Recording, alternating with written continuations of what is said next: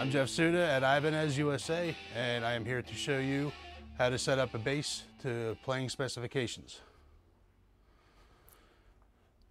First, while changing a string, what you want to do is make sure the instrument is relatively in tune uh, to keep the tension on the neck. Now, loosen the first string. You want to take one string off at a time to keep the tension on the neck. I start with the low E or the thickest string, get it loose, pull the string out. I'm gonna take it off and leave the rest of the strings on so it keeps the tension on the neck. Once you've done that, place it with the new string. The ball end, you wanna put in the side of this bridge, just like that. And once you do that, you wanna hold your thumb onto it because as you're tuning it, sometimes it will come loose. And once uh, the ball end is placed into the saddle, you want to take the string and go up about three inches above the post away from the body. You want to cut about two to three inches away from the body past the tuning post.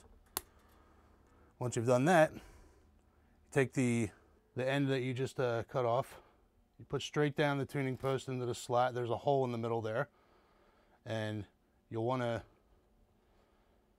bend it downward, sort of kink it, and then apply some tension to it so it kinks around the edge of the post just to get your first half winding.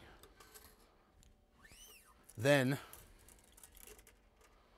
you want to keep tension over the nut, sort of push it downward so the rest of the winding comes underneath the first winding coming out of the post. And you can even, I like to have the winding directly in contact underneath the first winding coming out of the post. Stabilizes your tuning. And your first string is tuned. Here at Ibanez, we use Elixir strings. Um, the reason I like them is because if you're a bass player like me, have has multiple instruments, um, you tend to favor certain instruments and play them more. And when you decide to go back to an instrument you haven't played in a while, the strings are fresh, the sound is bright, and it's ready to go. And that's why I like Elixir strings.